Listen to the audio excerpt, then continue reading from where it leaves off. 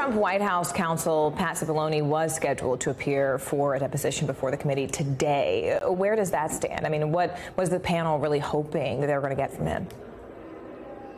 Well, we have an update on this just as of a couple minutes ago to our own uh, Peter Alexander, a source uh, familiar with the situation, giving him an update saying that they are the committee is extending the deadline for former White House counsel Pat Cipollone to comply with the subpoena to give his deposition not just today but extending that to uh, Friday. And we know that he does intend to comply with the subpoena. We know he's been cooperate, cooperating rather with the committee privately uh, for months now. But we expect his deposition to be more of uh, in writing, something uh, that he, he and his lawyers agreed to the topics of beforehand. That's because Cipollone has been uh, very concerned about executive and attorney-client privilege, really the privacy of his conversations with the former president.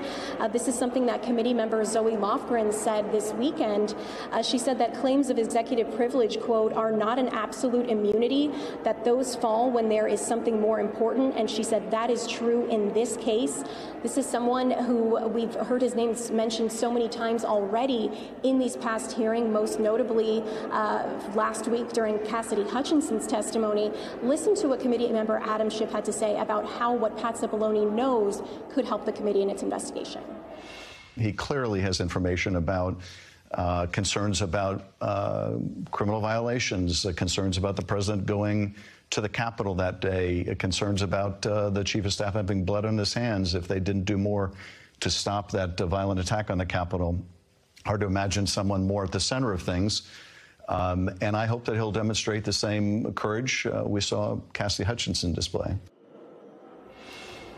So obviously, we know that his deposition, what we hear from him in his testimony, won't be uh, to the drama and the effect that we've seen in pre-recorded testimonies that the committee has shown, or even what we saw live with Cassidy Hutchinson. But we do know that Cipollone can really bolster Hutchinson's testimony that we know has been disputed by several people since uh, since she she spoke last Tuesday, Morgan.